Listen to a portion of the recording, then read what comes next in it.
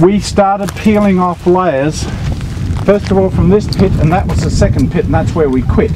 In between there's a bulge. The rocks got a, a bulged up and it was all shattered. So everything that you see laid out uh, there well we'll start from the top. Up there is the uppermost bed. That's bed 5 bed 4 bed 3 bed 2 bed 1 is way down the slope. So that's the official designation.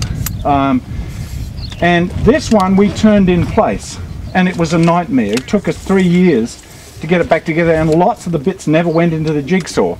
We learnt after we did these two beds that the way to do it is to trace the top of the bed on transparent plastic, flip it and then re-erect it.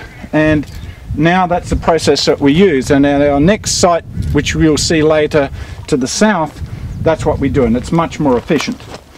Um, what we're looking at here are the bottoms of uh, of beds which have actually smothered seafloors. So absolutely everything on the seafloor has been smothered by sand and you get an imprint of whatever was on the seafloor, albeit squashed, sometimes distorted, sometimes even dragged out of the, the bed, depending on, on a whole bunch of things. But I won't go into that now.